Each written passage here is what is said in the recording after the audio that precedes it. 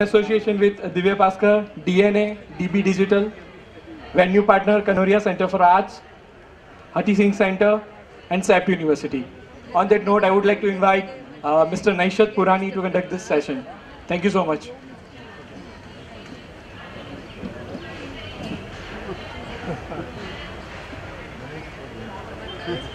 Thank you all.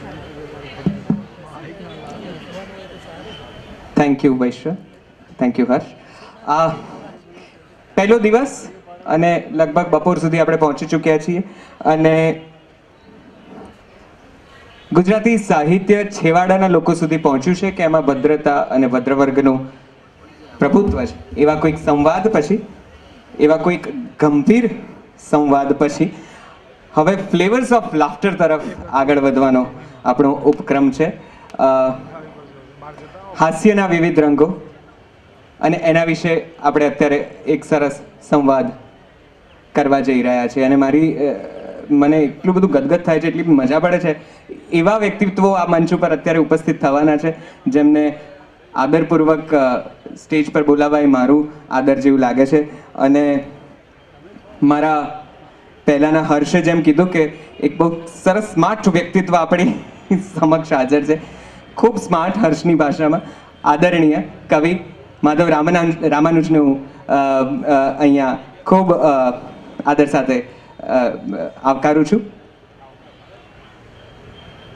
આ કાર્યક્રમમાં સંવાદ કરવા માટે સૌથી પહેલા રતિલાલભાઈને ખૂબ આદરપૂર્વક આમંત્રણ આપું છું. આપ મંચ પર પધારો. રતિલાલભાઈ, કોઈ પણ પરિચયનો મોહતાજ નથી, છતાં આપણા ઉત્કૃષ્ટ સાહિત્યકાર, ઉત્કૃષ્ટ હાસ્ય લેખક ખૂબ જાણીતા વક્તા એમને ખૂબ આદર સાથે હું મંચ પર આવકારું છું. મિત્રો, દરેક વખતે શું કહેવાનું? સારી તાળીઓ પાડો ને. બહુ નબળી હો, બહુ નબળી. આ એવા વ્યક્તિત્વ આપણી સાથે આ મંચ ઉપર જોડાવાના છે કે જેમને સાંભળવાની તમને મજા પડી જવાની છે. તો તમારા હાથ ગરમ કરી લો. થોડી તાળીઓ સાથે આ સૌનું અભિવાદન કરીએ. Ratilalbhai thank you so very much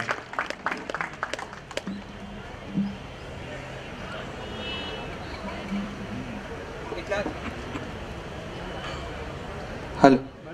એટલે આજ આદર સાથે ખૂબ જાણીતા સાહિત્યકાર, કવિ, વક્તા, ગુજરાત સાહિત્ય અકાદમીના પ્રમુખ શ્રી ભાગ્યેશભાઈનું હું આદરપૂર્વક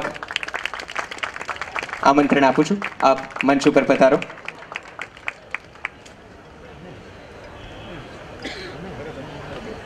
અને બુધવારની, બપોરે ને સોમવારની સવારે આપણે જેમને માણવાનું બિલકુલ ચૂકતા નથી.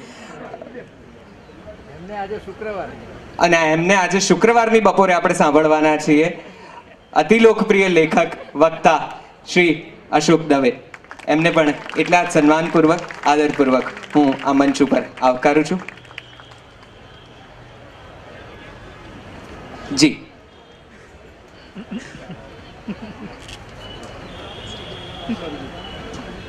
પકડીને ખેંચીને મૂકી દે. આપ સૌ મહાનુભાવોનો, આપ સૌનો આ મંચ ઉપર ખૂબ ખૂબ ખૂબ સ્વાગત છે આપની ઉપસ્થિતિ અમારા આનંદમાં. અતિશય વધારો કરી રહી છે. ઝીણું જાડું સાહિત્યિક હાસ્ય. ત્રણ જુદા જુદા મિજાજના ત્રણ વક્તાઓ આપણી સાથે છે, સાહિત્યકારો આપણી સાથે છે અને એમનો પોતાનો વિશદ અભ્યાસ અને અનુભવ છે. હાસ્ય વિશે વાત કરવામાં તેઓ નિપુણતા ધરાવે છે. તો બસ, હવે મારે શું બોલ- બોલવું વધારે? ભાગેશભાઈ કઈ રીતે કાર્યક્રમ આપણે આગળ વધારીશું? આપ કહો એ રીતે આપણે આગળ વધીએ. ઝીણું જાડું અને સાહિત્યિક હાસ્ય એટલે શું? પહેલાં તો સમજાવો અને પછી એમને આમ ઉપક્રમમાં અમે સામાન્યતઃ એવું કરતા હોઈએ છીએ કે દરેક વ્યક્ત- વક્તા પોતાની રીતે આ વિષયને એક પ્રારંભિક એક પ્રાથમિક ઉદ્બોધન આપે. એ પછી થોડી વાત થાય અને પછી આપણે ઇન્ટરેક્શન કરતા હોઈએ છીએ. હા આમ તો પાંચ મિનિટ. એટલે એટલે થિયોરેટિકલ હાસ્યની સાહેબ શરૂઆત કરે. તો એવું અમે અંદર અંદર નક્કી કરી લીધું. એ બહુ સરસ કર્યું. રતિલાલભાઈને હું વિનંતી કરીશ કે આપ આપ ત્યાં બેસીને પણ વાત કરી જ શકશો. તમને જ્યાં અનુકૂળ હોય આપ અહીં આવો તો.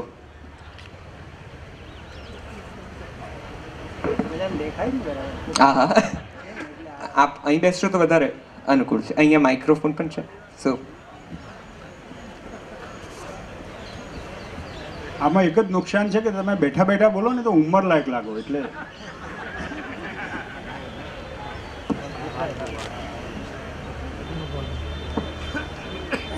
મિત્રો. પહેલા તો અહીંથી એવું કહ્યું કે થોડું નજીક રાખજો. થોડું નજીક રાખજો. અહીંથી એવું કહેવાયું કે કોઈ સેશનની વાત કરીને કે અહીંયા એક સેશન ચાલી રહ્યું છે. અહીંથી જેમને જવું હોય તે ત્યાં જઈ શકે. તો મને બહુ બીક લાગેલી કે એક પણ એ લાલચ તમે રોકી રાખી નહીં તો કોણ સાંભળે? પણ મારે બહુ પહેલાં, મારી વાત કરતાં પહેલાં મારે ઘણા અભિનંદન આપવાના છે કે એક તો અમસ્થું પણ હાસ્ય સાહિત્ય ઉપેક્ષિત રહ્યું છે, બાળ સાહિત્યની જેમ જ. અને એમાંય હાસ્ય વિશેની કોઈ ગંભીર ચર્ચા એ ભાગ્યે જ આપણે ત્યાં થાય છે. મને તો એમ છે એટલે મારો જે ખ્યાલ છે તે પ્રમાણે ગુજરાતમાં આ પહેલી ઘટના છે કે હાસ્યની ગંભીરતા પીછાનવાની હોય. જી. કારણ કે ખરેખર તો હાસ્ય એ ઘણી ગંભીર બાબત છે જીવનનું ઘણું ગંભીર પાસું છે અને હાસ્ય દ્વારા જે કહેવાય છે તે ઘણું ગંભીર હોય છે. પણ આપણે એ જાણતા નથી. એટલે આ પ્રકારના આયોજન માટે હું પ્રથમ તો આયોજકોને ખૂબ ખૂબ અભિનંદન આપું છું. અને અહીંયા જે મારે પ્રારંભમાં વાત કરવાની છે, પછી તમારી સાથે જ્યારે પરસ્પર સંવાદ થાય, કોઈ વિસંવાદ પણ થઈ શકે. પણ એ થાય ત્યારે વધારે વાત પણ કરીશું. પણ મારે કેટલીક સ્પષ્ટતાઓ કરવાની છે હાસ્ય માટે. એ થોડી ગંભીરતાથી કરવાની. આ હાસ્ય વિશેની ગંભીર વાત સહન કરવાનું થોડું અઘરું પણ હોય છે. જ્યોતિન્દ્ર દવે એંશીમાં તો એમનું અવસાન થયું એ પહેલાં ઘણા વર્ષ પહેલાં એણે લખેલું કે અંગ્રેજીમાં હાસ્યની ગંભીર ચર્ચા કરતા ત્રણસો પુસ્તકો લખાયા છે. હવે તો એમાં ઘણું ઉમેરાયું હશે. અને એમણે લખ્યું છે કે આ બધા પુસ્તકો જો કોઈ વાંચે, તો હસવાનું જીવનભર ભૂલી જાય. આવું આવું એમણે કહ્યું છે. એટલે હાસ્યની ગંભીર ચર્ચા ઘણી જોખમી પણ છે. પણ એ થાય તો હાસ્યનું જે ભાવન, એને એપ્રિશિએટ કરવાની જે વાત છે, એ વધારે સારી રીતે થઈ શકે. પહેલી વાત તો સાહિત્યિક હાસ્ય છે, માટે હું સાહિત્ય ને હાસ્ય એના અંગેની એક સ્પષ્ટતા કરું છું. હું સ્પષ્ટતા બહુ જ એક એક બબ્બે વિધાનોમાં જ કરીશ એટલે એમાં જે અસ્પષ્ટતા રહેતી હોય તે તમે પૂછી શકો. પણ પહેલી વાત તો, જ્યારે હાસ્ય કહીએ છીએ ત્યારે એક વાત છે. અને જ્યારે હાસ્ય સાહિત્ય કહીએ છીએ ત્યારે બીજી વાત છે. માત્ર હસાવા માટેનો વાત હોય જેમ કે આપણે ટૂચકાઓ અત્યારે વોટ્સએપ ઉપર બહુ જ ઓર અગર આપ અભી કી કોઈ ફિલ્મે દેખેંગે એકદમ ઇન્ટેલિજન્ટ કહી શકાય એવા સરસ વન લાઇનર ટુ લાઇનર્સ પણ જ્યારે આપણે હાસ્ય સાહિત્ય કહીએ છીએ એટલે એમાં હાસ્ય સાધ્ય છે. આ ટૂચકાઓ કે વાતચીતમાં જે હાસ્ય નિષ્પન્ન કરવામાં આવે. પણ હાસ્ય સાહિત્યમાં સાહિત્ય સાધ્ય છે. હાસ્ય સાધન છે. આ આપણે ત્યાં ઘણી જ અસ્પષ્ટતા છે. એટલે જ્યારે સાહિત્યની વાત કરતા હોઈએ ત્યારે હાસ્ય સાહિત્યિક બનવું પડે. એટલે કે હાસ્ય વાર્તા હોય તો એ વાર્તા થવી જોઈએ, એ પહેલી શરત. હાસ્ય કાવ્ય હોય તો એ કાવ્ય પહેલાં થવું જોઈએ, બીજી એ મુખ્ય શરત. હાસ્ય નિબંધ હોય તો એણે નિબંધ બનવું પડે, એ બીજી શરત. એટલે આ હાસ્ય નવલકથા હોય તો એણે નવલકથા બનવું પડે. અને એ વાત આપણે ત્યાં ઘણી જ અસ્પષ્ટ છે અને એને કારણે આપણે હાસ્ય નીચે લીટી દોરીએ છીએ, એટલી સાહિત્ય નીચે લીટી નથી દોરતા. બીજી વાત એ છે કે આપણે એ બહુ ઓછાને ખ્યાલ છે કે હાસ્ય રસ અને કરુણ રસ એ બંનેનો સોર્સ એક જ છે. આ આ વાત આપણે આમ જલ્દી મનમાં ન બેસે એવી પણ છે. પણ માર્ક ટ્વિનનું એક વાક્ય છે કે secret source of humour is sorrow not joy આ વાત કરું છું, એ સાહિત્યની વાત કરું છું. હાસ્ય સાહિત્યની વાત કરું છું. કે એના મૂળમાં, એ બંનેના મૂળમાં માનવ જીવનની કરુણ પરિસ્થિતિ રહેલી છે. એ કરુણ પરિસ્થિતિ જો અતિ ઘેરી હોય તો એમાંથી કરુણ રસ નિષ્પન્ન થાય અને એ પરિસ્થિતિ સહ્ય હોય એટલે માનવીય હોય તો એમાંથી હાસ્ય રસ નિષ્પન્ન થઈ શકે. પણ આ બંનેના સોર્સ એક જ છે એ વાત આપણે બહુ ઓછા જાણીએ છીએ.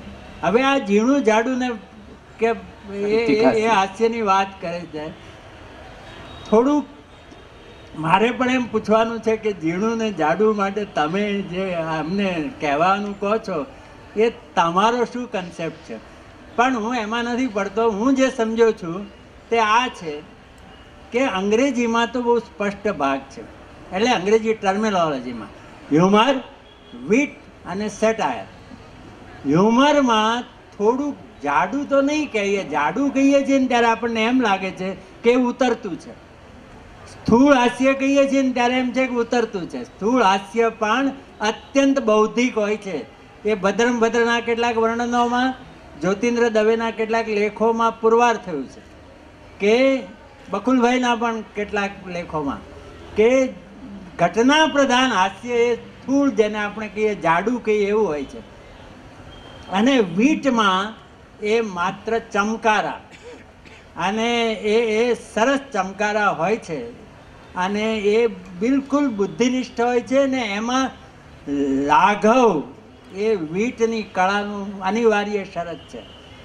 અને સેટાયર એ કટાક્ષ છે. કટાક્ષમાં પણ વીટ જ હોય છે. પણ હ્યુમર પણ હોઈ શકે. પણ જે હાસ્યનો સર્જક છે, એ સહિષ્ણુ હોય છે. એ બીજાની ખામીઓને હળવી નજરે જુએ છે. એ સમજે છે કે મારામાંય આવી ખામીઓ છે. જ્યારે સેટાયરનો લેખક છે એ થોડો અસહિષ્ણુ હોય છે. એનાથી સહન નથી થતું. જે વિસંગતિ સહન નથી થતી, એ રાજકારણની હોય ધર્મની હોય, સમાજની હોય, અને એ સેટાયરના તીર ચલાવે છે. એટલે આટલી એક પ્રારંભિક મુખ્ય મુખ્ય જે હાસ્યની જે વાત છે, તેમાં જે સ્પષ્ટતાઓ, એટલે કે એની સમજ જો આપણે કેળવીએ તો એ હાસ્યને એપ્રિશિએટ કરવાનું. અને એક છેલ્લી વાત કહીને બે જ મિનિટમાં હું પૂરું કરું કે હાસ્યમાં અતિશયોક્તિ અનિવાર્ય છે. આ જે ન સમજી શકે તે હાસ્ય માણી ન શકે. આ હાસ્યમાં અત્યુક્તિ એક મોટામાં મોટું શસ્ત્ર છે. આમ જોવા જાઓ ને તો સાહિત્યમાં પણ એ વધારીને જ કહેવામાં આવ્યું હોય છે. તમે એમ સમજો છો કે સરસ્વતી ચંદ્રમાં કુમુદ અને સરસ્વતી ચંદ્ર જે જે જોયા હશે ગોર્ધન રામે, એનો જ ફોટો છે? ના, એમાં ગોર્ધન રામના રંગો પુરાયા જ હોય. સર્જકના રંગો કવિતા હોય, વાર્તા હોય, નવલકથા હોય, આ હાસ્યમાં જે રંગો પુરાય છે ને એ જરા વધારે આમ જરા ઘાટા હોય છે. એટલે હાસ્ય સાહિત્યમાં અતિશયોક્તિ ન સમજનારા હાસ્યને પામી શકતા નથી. આ વાત પણ એક અગત્યની વાત કહીને હું મારી વાત પૂરી કરું પછી આ મિત્રો જે ચલાવે એમાં આપણે જે કંઈ કહીએ તે. ભાગેશભાઈ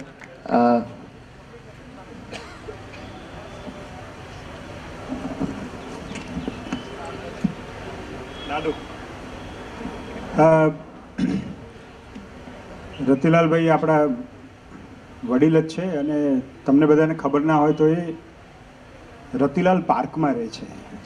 કદાચ એક જ લેખક એવો હશે કે જેના નામે આખી સોસાયટી હોય અને એ પાછા એમ કહે છે કે મેં હપ્તાથી મારો ફ્લેટ લીધો છે.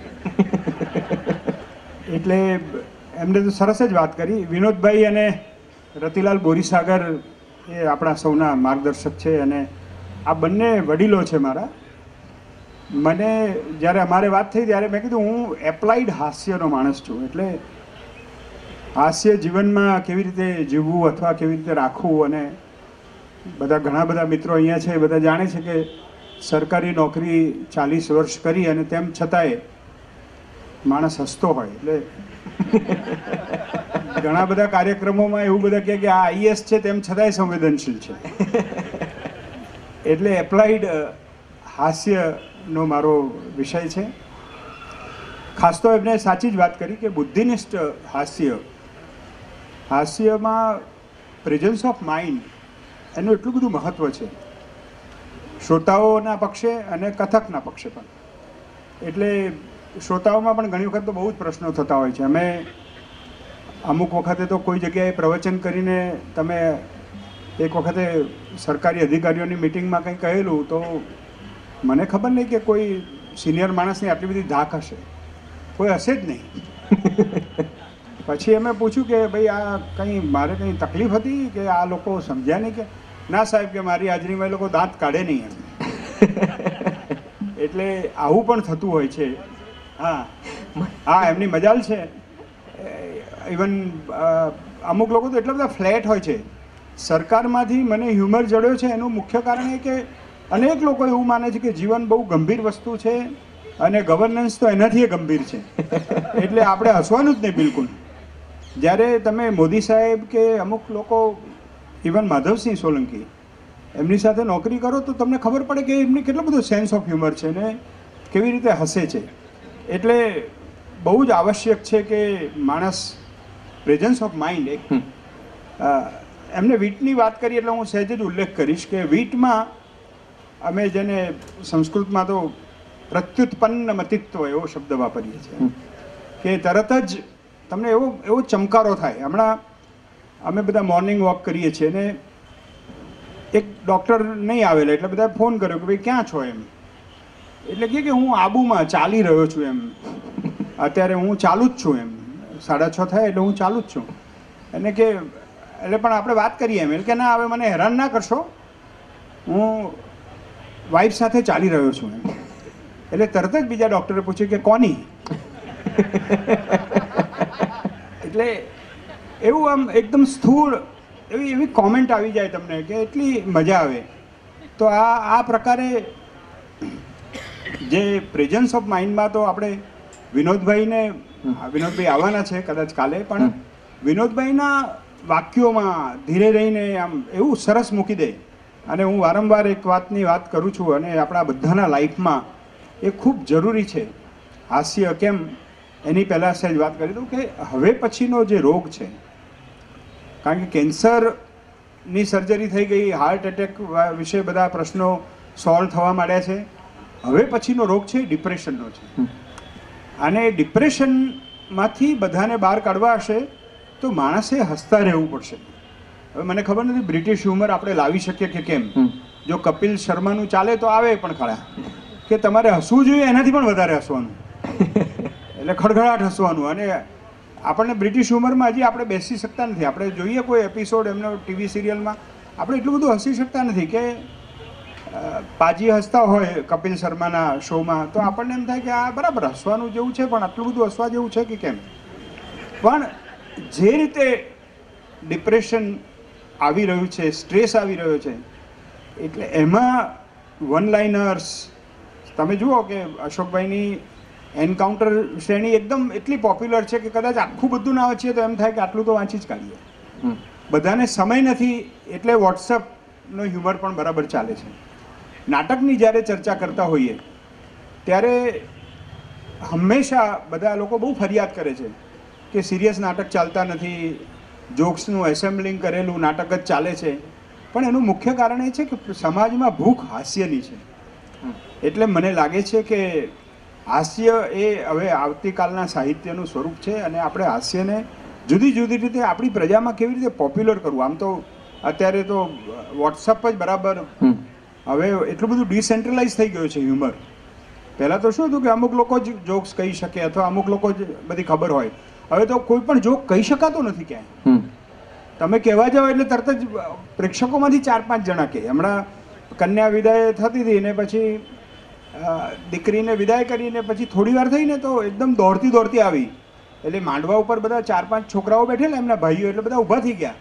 કે આ છોકરી કેમ પાછી આવી, એમ કે કંઈ તકલીફ, કંઈ જમાઈ બોલ્યા હશે ને આમ ને તેમને બધા ઊભા થઈ ગયા જરા આમ તેમ કે પૂછી લઈએ એને. એટલે એ તો દોડતી ને દોડતી પોતાના રૂમમાં ગઈ, એટલે બે ભાઈઓ દોડતા દોડતા પાછળ ગયા. પછી એને કહ્યું કે તમે ચિંતા ના કરો, બીજું કશું નથી. એમના ઘેર બધા સેમસંગના ફોન છે અને મારે આઈફોન છે. હવે ચાર્જર ક્યાંથી? એટલે ચાર્જર ભૂલી ગઈ છું. એટલે હવે આ જમાનામાં આ આ આ જોક ક્યાં કહીએ તો બધાને ખબર પડી. ભાઈ જોયું કે ત્રણ ચાર જણાએ તો એકબીજાને ઈશારો પણ કર્યો કે આ જોક અમે સાંભળેલો છે. એટલે મારે કહેવાનો મતલબ એ છે કે એટલું બધું હાસ્ય ડિસેન્ટ્રલાઇઝ થઈ ગયું છે.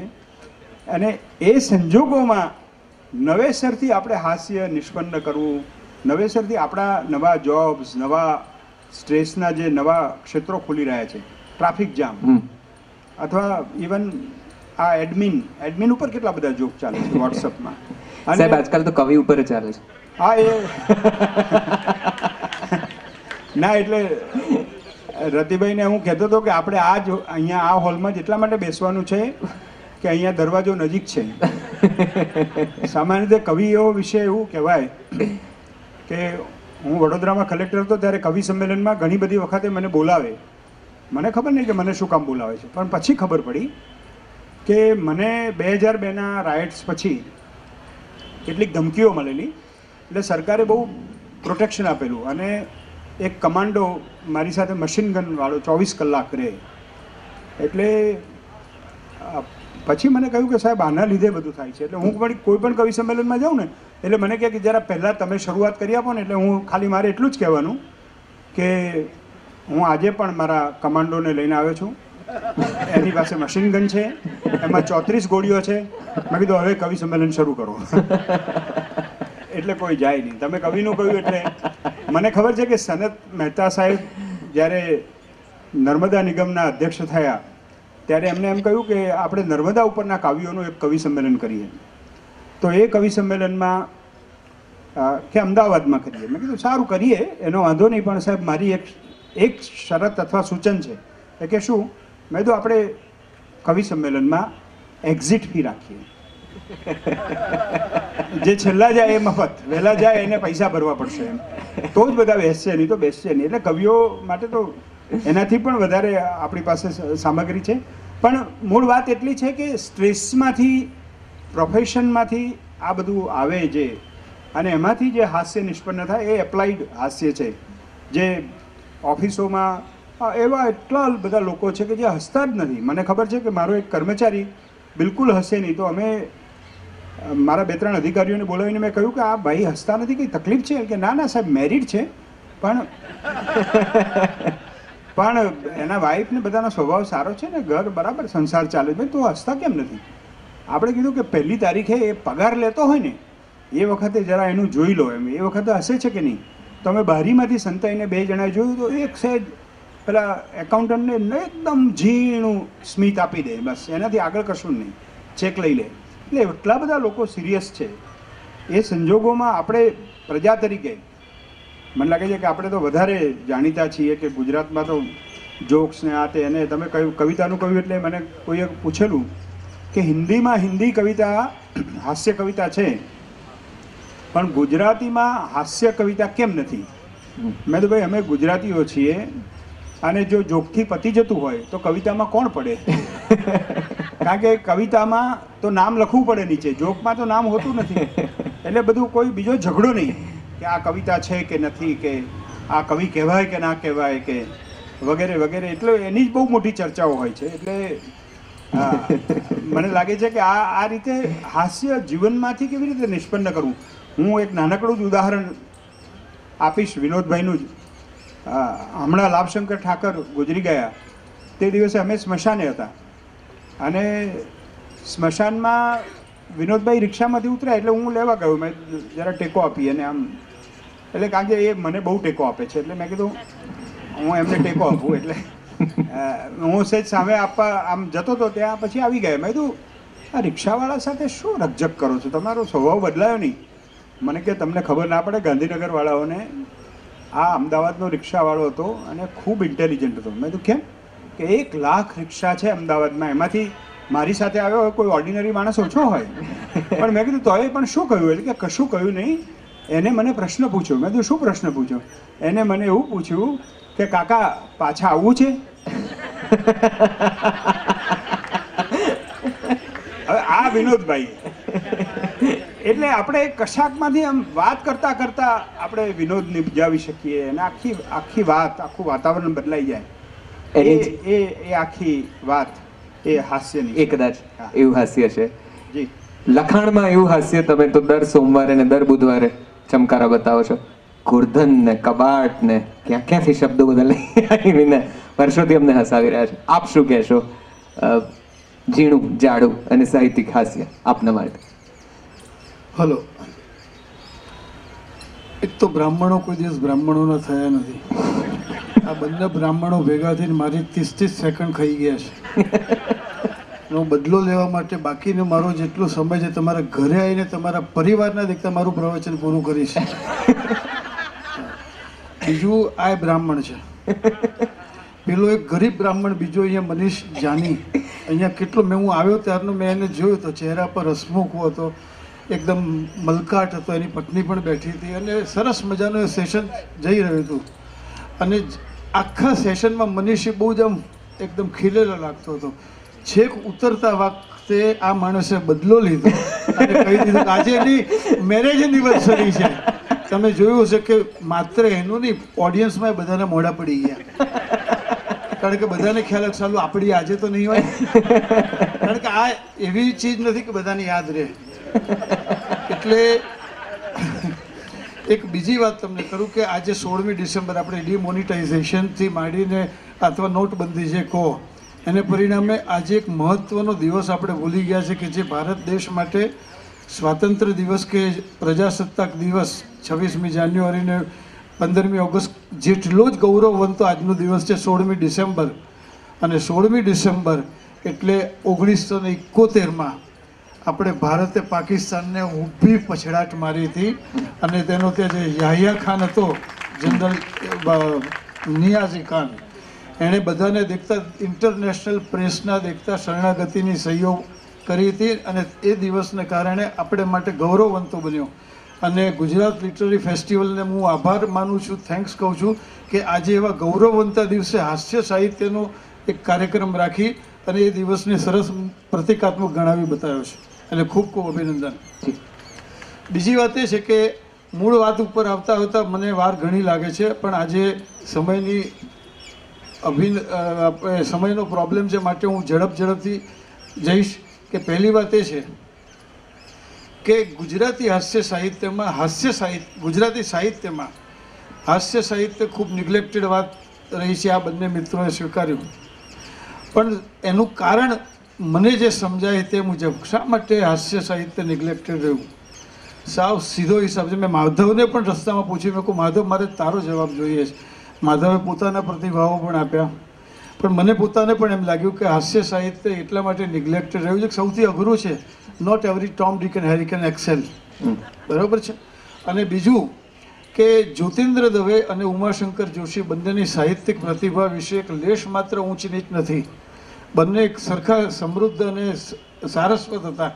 છતાં પણ તમે ગુજરાતી હાસ્ય ગુજરાતી સાહિત્ય પરિષદ કે જ્ઞાન સત્ર કે ગુજરાતી સાહિત્ય અકાદમીનો આજ સુધીનો ઇતિહાસ જુઓ તો કેટલા પરિસંવાદો કેટલા જ્ઞાન સત્રો કેટલા કેટલી ચર્ચા સભાઓ જ્યોતિન્દ્ર દવે માટે થઈ અને બાકી કેટલી બધી ઉમાશંકર માટે થઈ અથવા તો બાકીના નોન હ્યુમરિસ્ટ સાહિત્યકારો માટે થઈ કવિઓ માટે થઈ. કદાચ કદાચ જ્યોતિન્દ્રભાઈને આવી જરૂરત જ નથી કારણ કે સ્વયં સિદ્ધ હ્યુમરિસ્ટ હતા. અને પણ સવાલ નવાઈની એ વાત એ લાગે છે કે જો આટલી બધી સ્વયં સિદ્ધ આખો એરિયા હાસ્યનો હોય તો એનો મતલબ એ થયો કે બધા જ એની અંદર પગ પેસારો કરી શકે એવી તાકાત નથી. હું સ્થૂળ લખતો હોઉં, સાહેબ સૂક્ષ્મ લખતા હોય, ગમે તે લખતા હોય. એમણે કીધું બરાબર કે સ્થૂળ લખવું એ કંઈ સૂક્ષ્મથી સહેજ પણ કમ નથી. મારી સમજ મુજબ, ચાર્લી ચેપ્લિન અને લોરેલ હાર્ડી એક સૂક્ષ્મની મોટા મોટી પરિસીમા અને બીજું સ્થૂળતા લોરેલ હાર્ડી બંને. તમે જોવા જાઓ તો બંનેનું મૂલ્યાંકન એક દોરોએ ચડતું ઓછું થઈ શકે એમ નથી. કારણ કે તમે જુઓ કે જ્યારે ખડખડાટ હસવું હોય, ત્યારે માત્ર માત્ર ને માત્ર સ્થૂળ હાસ્ય જ કામમાં આવે છે. સૂક્ષ્મ હાસ્ય તમને હસાવી શકે, સરસ મજાનું મોનાલિસા જેવું સ્માઇલ અપાઈને. અને થોડીક આમ ભ્રમરો ઊંચી કરવાની અદો પાડેલી રાખીને તમે ઘણું બધું સમજો છો એવો પ્રભાવ પાડવાનો. જ્યારે સ્થૂળ હાસ્યમાં છે ને કે તમારે એવું પ્રભાવ ઊભા, તમારે કરીને હસી શકો. અને એવું એટલી બધી તમારી આખી બોડી લેંગ્વેજ ફેરફાર કરાવી શકે છે, માત્ર સ્થૂળ હાસ્ય. અને છતાંય સ્થૂળ હાસ્ય કોઈ કાળે પણ નબળું નથી. અહીંયા આપણી પાસે છીછરું હાસ્ય અથવા તો સામાન્ય રીતે મારે કે તમારે ચર્ચા કરવાની જરૂર ન પડે કે ઘણું વોટ્સએપમાં પણ આવે છે. એની તો આપણે ચર્ચા પણ ના હોઈ શકે. જે ચર્ચા છે એ સ્થૂળ છતાં પણ તંદુરસ્ત હાસ્યની છે. તો એ સ્થૂળ હાસ્યમાં આજે જે વૈભવ છે એની એપ્લિકેબિલિટીનો કે જ્યારે પણ સૂક્ષ્મ હાસ્ય છે, એ તમે કેટલું પ્રેક્ટિકલ લાઈફમાં અમલ કરી શકો છો અને જ્યારે સ્થૂળ હાસ્ય છે, એ તમે દાખલા તરીકે કોઈનું શોક સમર, કોઈનો શોક સમારંભ હોય અથવા તો કોઈનું બેસણું હોય અથવા તો શોક સભા હોય, કોઈના ઘરે ગયા હો અને ઘરમાં ડોહો બચારો ડચકા ખાતો ખાતો ગુજરી ગયો હોય, ત્યારે સરસ્વતીચંદ્રની સાહિત્યિક વિભાવનાઓની ચર્ચા તમે ના કરી શકો. ત્યાં તમે સરસ મજાનું કોઈ સ્થૂળ અરે સામાન્ય જોક પણ કહીને વાતાવરણ હળવું કરી શકો, તો એ લોકો એ કુટુંબ ઉપર તમે ઉપકાર કર્યો ગણાશે. જ્યારે હાસ્ય સાહિત્યમાં અને એમાંય ખાસ કરીને સ્થૂળ હાસ્ય સાહિત્યની આ એક મોટામાં મોટી મજા છે કે રિએક્ટિવ તરફ છે. હું આજે સરસ બોલી રહ્યો છું કે થર્ડ ક્લાસ બોલી રહ્યો છું. મારા બોલ્યા પછી કોઈ પ્રતિભાવ ના આવે તો મને અહીંયા ને અહીંયા ખબર પડી જવાની છે કે હું ફેલ ગયો છું. એક થોડોક મજાનું સ્માઇલ આવે તો ખબર પડશે કે વાહ, કંઈક ચાલ્યું છે. અથવા તો આ લોકોને સમજ પડી લાગે છે, અથવા તો નથી પડી, માટે સમજી હસતા લાગે છે. પણ એ ગમે તેમ કહો, એ એ રિએક્ટિવ છે. જ્યારે હાસ્ય, જ્યારે સૂક્ષ્મ સાહિત્ય છે, એમાં મોટાભાગે રિએક્શનનો અભાવ નથી. અને છેલ્લે મારી, મેં જો કીધું ને, બહુ આદર્શ બ્રાહ્મણ છું. મારી જે નેવું સેકન્ડ આ બે જણાઓ ખાઈ ગયા છે, પછી બહારની આવો, તમને બતાવું છું. આ જ્યારે જમાડી દેજો ભાગેશભાઈ કહે છે જમાડી દેજો હા બોલો છે ને આ બ્રાહ્મણ અને પાછું સરકારી બ્રાહ્મણ. ના પણ મને ચાલીસ વર્ષથી પરણેલો છું એટલે ઓછામાં ઓછું બોલવાની ટેવ છે. અને કીધા સમયે બોલવાનું બંધ કરવાની પણ મને આદત છે. એટલે મારું ઘણું બધું બાકી છે. આપણે સવાલ જવાબમાં ચર્ચા કરીશું. Thank you ji. તો રતિલાલભાઈ અહીંથી સવાલ જવાબ ઇન્ટરેક્શન તરફ આપણે એ આગળ. લોકોને તાળીઓ પાડવાનું કીધું ભાઈ તાળીઓ આવું કરવાનું? મેં હું તો દરેક સેશન પહેલા મારા સેશન જેટલા હું હોસ્ટ કરું છું એ જ કહું છું કે જરાક તાળીઓ આમ ઘોઘરા જેવી પાડો આમ સાવ નબળી કેમ આવું? જો હા આમાં પેલા એવું છે કે આમ પ્રભાવ પાડવાનો તાળી નહીં પાડીને પ્રભાવ પાડવાનો સહેજ જ આમ સહેજ આગળ જ કરવાનું. સારું સવાલ જવાબો આ ત્રણેય વક્તાઓને તમારે જે પણ પૂછવું આવે. હાસ્ય વિશે જીનું જાડું અને સાહિત્યિક હાસ્ય.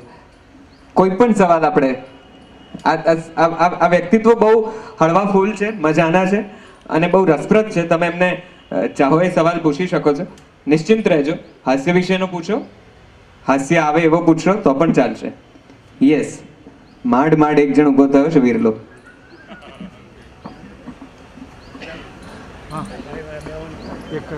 પાછળ બેઠેલા યુવાનોને પણ કોઈ પ્રશ્ન હોય તો પ્લીઝ ફીલ ફ્રી દાદુ નાનો જ સવાલ છે. પંખો ચાલુ કરીએ કે નહીં? હાસ્યનો પંખો? હાસ્યનો પંખો ચાલુ કરો એવું એમણે કીધું છે. બીજો બીજો કોઈ પ્રશ્ન? આ બાજુથી એક ભાઈને છે. હા પેલા પેલા ભાઈને? એમના પછી એમનો વારો, ઓકે? વારા. પરથી વારો અશોકભાઈ અને રતિલાલ દાદા. સવાલ એ છે કે ગુજરાતમાં હાસ્યમાં પોલિટિકલ સેટાયર ભાગ્યે જ આવે છે. અથવા તો મોટે ભાગે એને સ્પર્શ કરવામાં જ નથી આવતો. જ્યારે હિન્દી સાહિત્યમાં ને એ બધામાં એનો આખો એક બેઝ છે. તો આપણે ત્યાં કંઈ એક જાતની ગુજરાતી જે કહેવાય વેપારી વૃત્તિ કે આ આ બિઝનેસને નુકસાન ના થાય એટલા માટે એનાથી દૂર રહ્યા છે. કે પછી બીજું એ પણ મારે કહેવું છે કે જ્યાં સુધી ચાર્લી ચેપલિન જેવો કલાકાર, એ આખી દુનિયામાં જે રીતે જાણીતો થયો, એના બેઝમાં એનું પોલિટિકલ સટાયર હતું. તો શા માટે એનાથી ગુજરાતી હાસ્ય લેખકો દૂર રહ્યા છે? Uh, in the first place, allow me to differ with you that Charlie Chaplin banked only on the political satire, which is absolutely wrong. એકાદું તમે ગ્રેટ ડિક્ટેટર જેવી ફિલ્મમાં તમે ગણતરી કરવા જાઓ તો યુ આર રાઈટ બીજી વાત એ છે કે પોલિટિકલ સેટાયર આપણે ત્યાં ખેડાયું નથી એ વાત બિલકુલ ખોટી છે મુરબ્બી સ્વર્ગસ્થ બકુલ ત્રિપાઠીએ લાઈફ ટાઈમ આખી પોલિટિકલ સેટાયર અને ઉચ્ચ કક્ષાનું પોલિટિકલ સેટાયર વ્યક્ત કરવામાં કાઢી છે તમે એમ ચોક્કસ કહી શકો કે બકુલભાઈને બાદ કરતાં અન્ય કોઈ સાહિત્યકાર પોલિટિકલ સેટાયરમાં આટલી ઊંચાઈઓ પ્રાપ્ત કરી શક્યા નથી. Without even losing his platform ક્યાંય નીચા પડ્યા વગર. કારણ કે એઝ અ હ્યુમરિસ્ટ મને આજે લગતા લગતા ચુમ્બાલીસ વર્ષે હાસ્યનું. તો હું એઝ અ હ્યુમરિસ્ટ સમજી શકું છું કે રોજ એક એક ખાલી જે પેલી શ્રીરામ શ્રીરામ શ્રીરામ શ્રીરામ શ્રીરામ લખવાનું હોય એ ચાલીસ ચુમ્બાલીસ વર્ષથી લખવું તો બહુ અઘરું પડે. જ્યારે બકુલભાઈએ માત્ર ને માત્ર પોલિટિકલ સેટાયર ઉપર આખી જિંદગી ખેંચી કાઢી અને એનું સ્તર બગાડ્યા વગર બાકીનો જવાબ સાહેબ આપશે. કનુભાઈની વાત આમ સાચી છે, એટલા પૂરતી સાચી છે કે એનું એક કારણ એ છે. અશોકભાઈએ કહ્યું તેમ બકુલભાઈએ એ તો કદાચ વિશ્વ સાહિત્યનો એક વિક્રમ હશે કે એક છાપામાં પચાસ વર્ષ સુધી રોજ લખીને, સ્તર જાળવીને કોઈ લખી શક્યું હોય તો એ એકમાત્ર ઉદાહરણ છે. અને એમાં પોલિટિકલ સેટાયર સારા એવા પોલિટિકલ સેટાયરના જ મોટાભાગના લેખો છે. તેમ છતાં, એકંદરે આપણા હાસ્ય સાહિત્યમાં પોલિટિકલ સેટાયર તેમ છતાં સધરા જસનનો સાળો તમે યાદ કરો ચુનીલાલ મડિયાની નવલકથા. એ આખી ત્રણ ભાગની નવલકથા પોલિટિકલ સેટાયર ઉપર છે અને એ વખતે એમણે જે લખ્યું ને જે ખટપટો રાજકારણની ત્યારે એમ લાગતું હતું કે ત્યારે વાતાવરણ સારું હતું પ્રમાણમાં કે એમ લાગતું હતું કે જરા વધારે પડતી હતી શોક્તિ છે. રાજકારણ આટલી હદે બગડ્યું નથી. પણ આર્ષદ્રષ્ટા હતા. એમણે કલ્પના કરી એના કરતાં વધારે બગડ્યું પછી. પણ એ અદ્ભુત પોલિટિકલ સેટાયરની નવલકથા છે. પણ પ્રમાણ ઓછું છે એમાં કોઈ શંકા નથી. એનું એક કારણ એ છે. મેં લખ્યું છે એક જગાએ કે આપણે ત્યાં પૂર્ણ કક્ષાનો સેટાયરિસ્ટ કોઈ નથી. આપણે આમ બિલકુલ બકુલભાઈએ આ લખ્યું પણ એને નિબંધો વગેરે હ્યુમરના જ લખ્યા.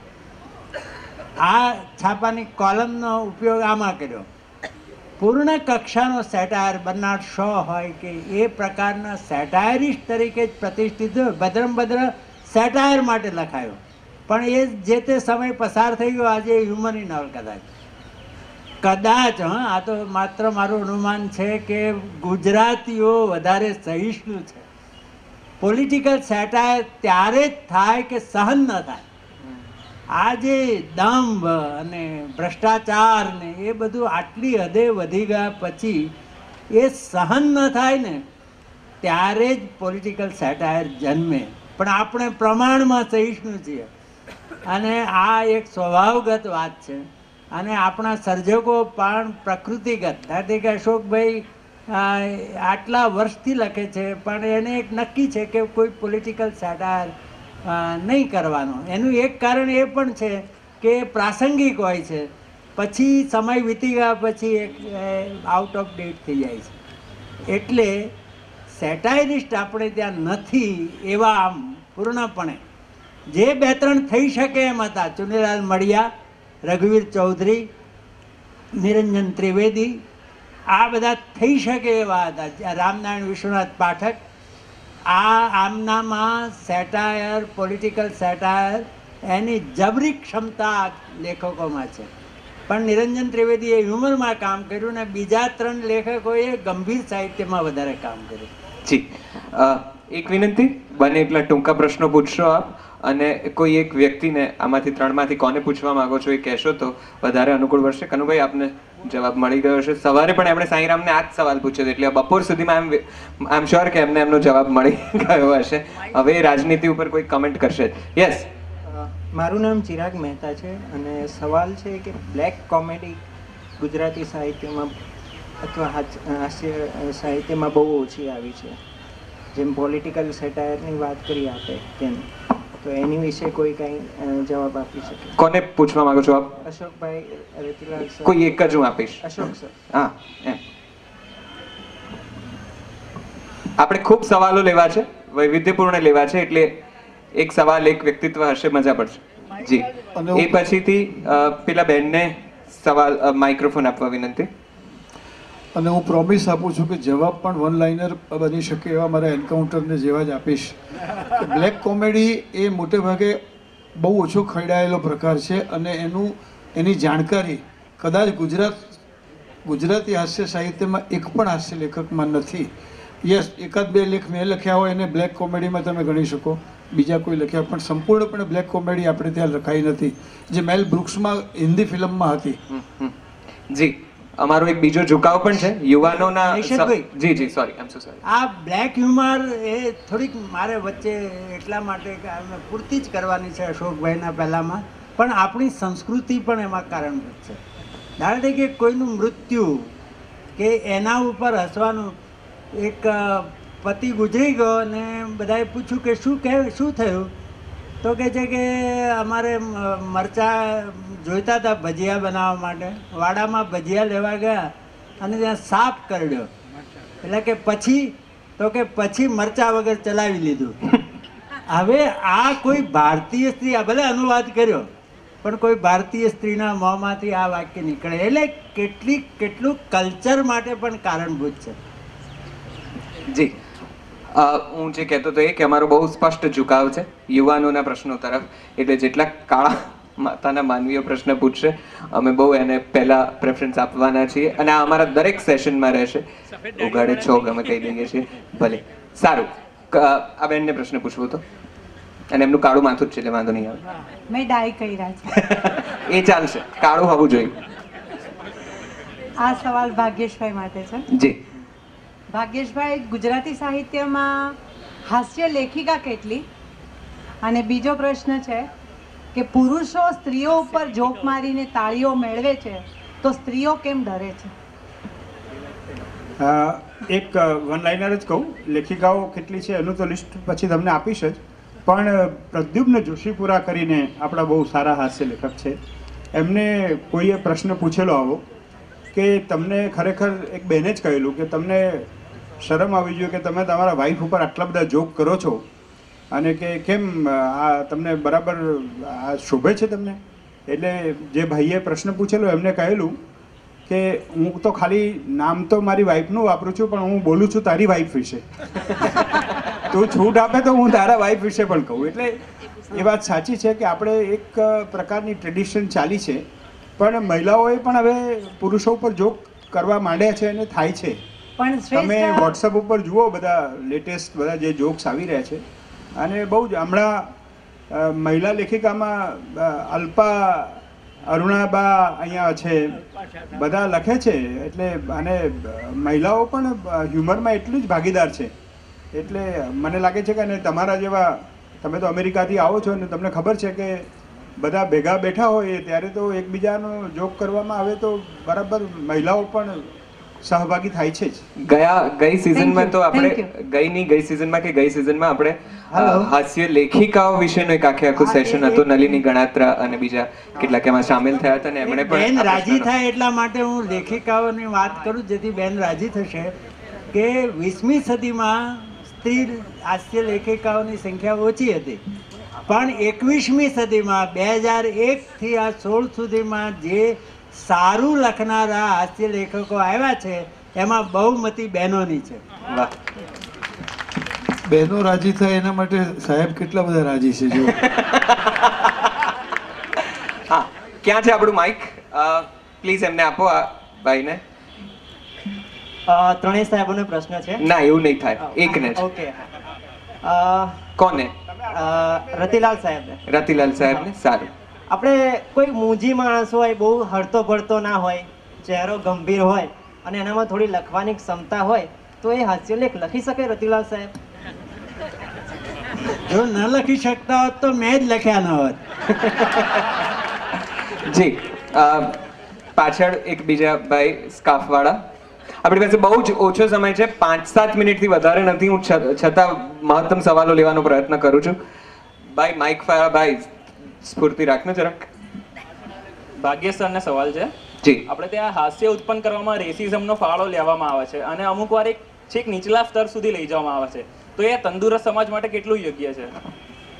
તો બિલકુલ છે નહીં પણ હવે રેસિઝમથી હોતું નથી. ઘણી વખતે જેમ મેં કહ્યું એમ સ્ત્રીઓને સબ્જેક્ટ બનાવીએ છીએ ક્યારેક એમને ના કહ્યું બ્રાહ્મણો બ્રાહ્મણો હવે તો બધા જમવા આવે છે અને જમવાની બધા માંગણી કરતા હોય છે. પણ એ તો જસ્ટ એક એક સહારો લઈને અવલંબ અવલંબન તરીકે લેવાનું હોય છે. બાકી તો મોડર્ન એજમાં તો એમ જ હાસ્ય નિપજતું હોય છે ને હવે જનરલી આ બધું ચાલ્યું જવાનું છે થોડા દિવસોમાં. એટલે જી અહીંયા આ સાહેબને એક પ્રશ્ન. ત્યાંથી એક કામ કર પેલા ચશ્માવાળા ભાઈનો પ્રશ્ન પૂછી લે અને સીધો પછી અહીં આવી જાય પેલા ભાઈને આપી દે સવાલ આપ કહી દો. આપણે બે સવાલ બેક ટુ બેક લઈ લઈએ છીએ. બહુ ટૂંકમાં સવાલ હા? અને આ છેલ્લા બે પ્રશ્નો. રતિલાલભાઈને પ્રશ્ન છે. જી. સાહેબ નાનપણથી આપનું મરક મરક વાંચીને ધોરણ ત્રણથી અત્યાર સુધી આવ્યા છીએ. તો હવે પ્રોબ્લેમ એવો થયો છે કે એ જ લેવલનું સાહિત્ય બધે ગોતતા રહીએ છીએ. અને હવે એ નથી મળી રહ્યું. તો તમે એવું એક સજેશન આપો કે એ લેવલનું સાહિત્ય ક્યાં શોધીએ ગુજરાતી ભાષામાં? ઓકે મરક મરકના લેવલનું સાહિત્ય ક્યાં શોધીએ? તરત અહીં આવી જઈએ આપણે. આ પ્રશ્ન પણ લઈ લઈએ. બે બેક ટુ બેક જવાબો પણ. દોડતું તારે મજા પડી જશે આજે. શિયાળામાં દોડ સારી. તો બધા જ જવાબ આપી શકે એવા સર્જકો છે. છતાં? બોરી સાગર સાહેબ ને અમારા બકુલ ત્રિપાઠી સાહેબ તો હવે રહ્યા નહીં. પણ એમને એક બબલદાસ નામના એક અમારા ગઢવી સાહેબને પણ ખબર છે એક વ્યક્તિ હજી હયાત છે. એમણે બબલદાસના પાત્ર એમના લેખનીમાં બહુ આવતું. એટલે એમણે બહુ કડક પત્ર બકુલ ત્રિપાઠીને લખેલો. અને એનો જવાબ આપ્યો કે કેમ એ તો ખબર નથી પણ એમ એક પછી એકવાર એનો ઉલ્લેખ કરેલો મારે આ લેખક સાહેબોને પૂછવું છે કે જ્યારે આવા પાત્રો આપણે એમાં આવે છે ત્યારે આવા કોઈ પ્રશ્નો થાય છે ખરા? સારું. તો એ એક પ્રશ્નનો ઉત્તર તો અશોકભાઈ આપી શકે. મારે તો એવા કોલમમાં એવા કોઈ પાત્રો વિશે મેં ક્યારેય લખ્યું નથી પણ એમણે જયંતિ જોખમ ને પ્રવીણ ચડ્ડી ને એવા પાત્રો એમના કલામાં આવે છે. પણ એમાં મજાક સિવાય બીજો કોઈ હેતુ ઉતારી પાડવાનો હોતો નથી. જી અને એક બીજો પ્રશ્ન હતો આપને જ કે મરક મરક જેવું જેવા લેવલનું સાહિત્ય કે એ પ્રકારનું હાસ્ય ક્યાં શોધવું? એમણે બરાબર ને ભાઈ? એ મારે મને ગમે તો ખરું જ કે જો આવું સાચું હોય તો સારું કહેવાય મારા માટે પણ એવું સાચું નથી. એ પ્રકારનું સાહિત્ય આપણે જે હાસ્ય સાહિત્ય વંચાય છે ઓછું. પણ આપણે ત્યાં જે લખાય છે પછી પણ મારું મરક મરક સત્યોતેરમાં થયું. મેં પણ પછી ઘણું લખ્યું એટલે એ વંચાય છે ઓછું બાકી અત્યારે આપણે ત્યાં ઘણું ઉત્તમ પ્રકારનું સાહિત્ય લખાઈ રહ્યું છે અને એની કક્ષા ઘણી ઓછી છે. છેલ્લે નિષેધભાઈ રજા આપે તો રતિલાલ પાર્કવાળી એક વાત કરવા માંગુ છું એક જ મિનિટ. બિલકુલ મારે બે જણને રજા આપવાની છે. તમને ને અશોકભાઈએ મને ઈશારો કરી દીધો છે એટલે. એક જ મિનિટમાં હું પૂરી કરી દઉં કે એમણે કહ્યું ને એટલે હું પણ અભિમાન લેતો હતો કે આ છન્નું ફ્લેટની સોસાયટીમાં મારા નામની સોસાયટી છે પણ થોડા મહિના પહેલાં રિક્ષામાં હું આવ્યો ત્યાં અને અંદર લીધું એટલે મને પહેલાં રિક્ષાવાળો કે આ રતિલાલ પાર્ક નામ શું જોઈને પાડ્યું છે? એટલે મેં કહ્યું કેમ? તો કે રતિલાલ તે કંઈ નામ છે. મરક મરકવાળા ભાઈનો એક સવાલ અમારે ગમી ગયો અને એના માટે સંપૂર્ણપણે જવાબદાર આટલા બધામાંથી હું એ ભાઈને જ માનું છું. કેમ? કે તમે આટલા વર્ષોથી મરક મરક વાંચો છો, કેમ આજે જ રિએક્ટ કર્યું? તમે આજે તમે કીધું કે હું બાળક હતો ત્યારનો આ મરક મરક વાંચું છું. બાળક હો ત્યારે એટલી સજ્જતા ન હોય એ સ્વીકારી શકો પણ તમે મોટા થયા, યુવાન થયા, કિશોર થયા, તમે એક પણ વખત રતિભાઈને ફોન કરીને કે લખીને તમે બિરદાવ્યા ખરા. અહીંયા બેઠેલા તમામે તમામમાં એક મોટા મોટો પ્રોબ્લેમ છે રિએક્ટ નહીં થવાનો. અહીંયા તમે જોજો, આ પત્યા પછી અમારા ત્રણમાંથી કોઈ એકાદું તો સારું બોલ્યું હશે ને? પણ જો પ્રોગ્રામ પત્યા પછી આમ નીચું ઊંડી કરીને ઘેર જઈને. Why don't you react just abuse this guy કે નથી, તમારા મજા ના યાર. You are hopeless we accept it પણ તમે રિએક્ટ તો કરો. આ બુધવારની બપોરે લગભગ ચુમ્બાલીસ વર્ષ થયા. કેન યુ બિલીવ હમણાં મેં ફિલ્મ ઇન્ડિયાનું બે પુસ્તકો બહાર પાડ્યા. ચૌદસો રૂપિયાનો સેટ છે. હવે મારા કમનસીબે નસીબ ફૂટલા કે મેં લગભગ ચાલીસેક જણાને મિત્ર ગણ્યા. અને ચાલીસ જણને મિત્ર ગણીને બધાને ગિફ્ટમાં આપ્યા. એક એક સેટ મને પોતાને ચૌદસો રૂપિયાનો પડ્યો. ચૌદસો રૂપિયા. Multiply it with forty rupees હવે એટલું ખર્ચ્યા પછી અને ચાલીસ વર્ષોથી જેટલા પુસ્તકો મેં લખ્યા છે બધા તેત્રીસ પુસ્તકો થયા એ બધા મિત્રોને મેં ગિફ્ટ આપ્યા છે. હવે આવી મૂર્ખામી બીજો કોઈ લેખક ન કરે. કોઈ દિવસ પુસ્તક લેખક તમે હો તો ગિફ્ટ મને અપાય. કારણ કે કોઈ કરતાં કોઈ રિએક્ટ કરતું નથી. અને હું તમને બધાને પણ કહું છું કે મરક મરકની આ વાત તમે જો રતિલાલ બોરીસાગરને ચાલીસ વર્ષ પહેલાં કીધી હોત તો તમારે આ પ્રશ્ન પૂછવાનો જ ના આવ્યો જય શ્રી કૃષ્ણ. બોલો જય હિન્દ.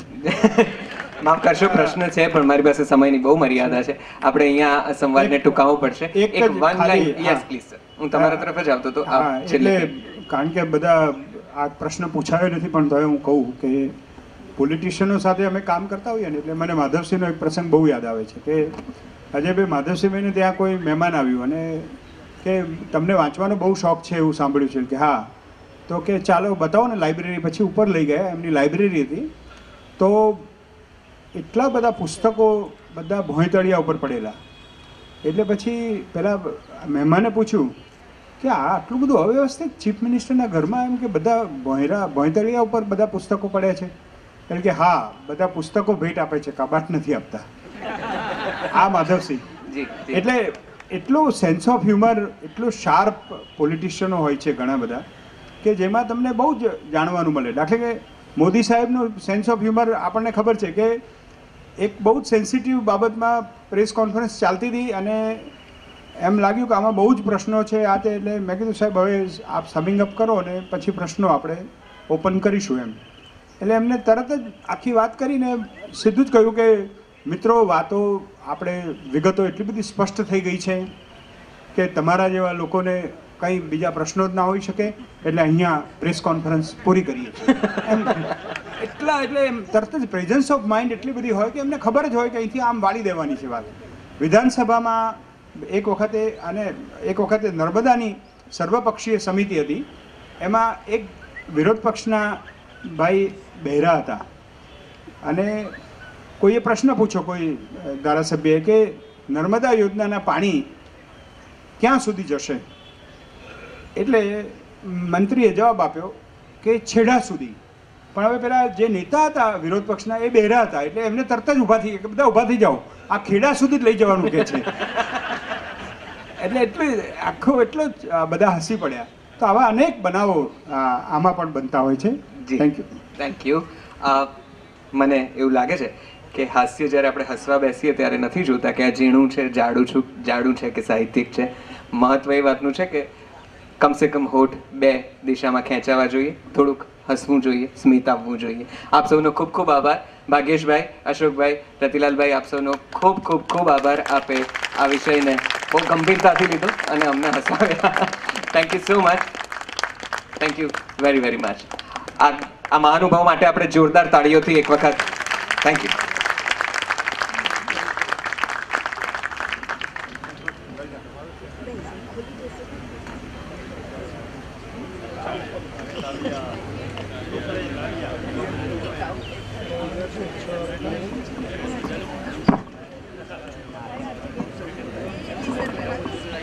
નમસ્કાર હું છું હર્ષ. ગુજરાત લિટરેચર ફેસ્ટિવલના એડિશન ફોર્થમાં તમે આવ્યા છો. ગુજરાત લિટરેચર ફેસ્ટિવલને પેટ્રોન્સ છે એના Reliance Industries Limited main sponsors તરીકે છે જાગૃતિ ગ્રુપ અને અદાણી. સ્પોન્સર્સ તરીકે છે કે H S Zydus Gujarat Sahitya Akademi Karma foundation નવજીવન ટ્રસ્ટ